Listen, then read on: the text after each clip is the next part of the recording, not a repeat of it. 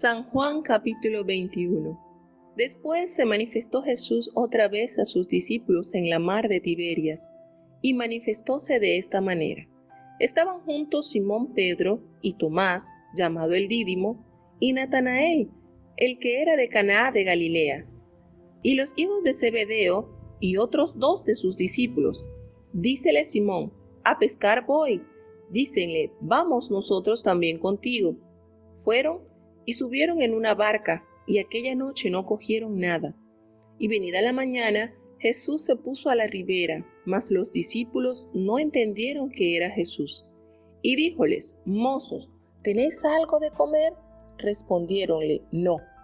Y él les dice, echad la red a la mano derecha del barco, y hallaréis. Entonces la echaron, y no la podían en ninguna manera sacar por la multitud de los peces. Entonces aquel discípulo, al cual amaba Jesús, dijo a Pedro, El Señor es. Y Simón Pedro, como yo que era el Señor, ciñóse la ropa, porque estaba desnudo, y echóse a la mar. Y los otros discípulos vinieron con el barco porque no estaban lejos de tierra, sino como doscientos codos, trayendo la red de peces. Y como descendieron a tierra, vieron ascuas puestas y un pez encima de ellas, y pan. Díceles Jesús, traed los peces que cogisteis ahora. Subió Simón Pedro y trajo la red a tierra, llena de grandes peces, ciento cincuenta y tres, y siendo tantos, la red no se rompió. Díceles Jesús, venid, comed. Y ninguno de los discípulos osaba preguntarle, ¿tú quién eres? sabiendo que era el Señor. Viene pues Jesús y toma el pan y les da, y asimismo del pez. Este era ya la tercera vez que Jesús se manifestó a sus discípulos, habiendo resucitado de los muertos. Y cuando hubieron comido, Jesús dijo a Simón Pedro, Simón, hijo de Jonás, ¿me amas más que estos? Dícele, sí, Señor, tú sabes que te amo. Dícele, apacienta mis corderos. Vuélvele a decir la segunda vez, Simón, hijo de Jonás, ¿me amas? Respóndele, sí, Señor, tú sabes que te amo. Dícele, apacienta mis ovejas. Dícele la tercera vez, Simón, hijo de Jonás, ¿me amas? Entristecióse Pedro de que le dijese la tercera vez, ¿me amas?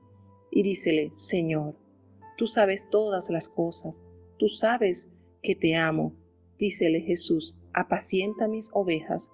De cierto, de cierto te digo, cuando eras más mozo, te ceñías e ibas donde querías, mas cuando ya fueres viejo, extenderás tus manos y te ceñirá otro y te llevará a donde no quieras. Y esto dijo, dando a entender con qué muerte había de glorificar a Dios. Y dicho esto, dícele, sígueme. Volviéndose Pedro, ve a aquel discípulo al cual amaba Jesús, que seguía, el que también se había recostado a su pecho en la cena, y le había dicho, Señor, ¿quién es el que te ha de entregar? Así que Pedro vio a éste, dice a Jesús, Señor, ¿y éste qué? Dícele Jesús, si quiero que él quede hasta que yo venga, que a ti, sígueme tú. Salió entonces este dicho entre los hermanos, que aquel discípulo no había de morir. Mas Jesús no le dijo, no morirá, sino, si quiero que él quede hasta que yo venga, que a ti. Este es aquel discípulo que da testimonio de estas cosas y escribió estas cosas y sabemos que su testimonio es verdadero.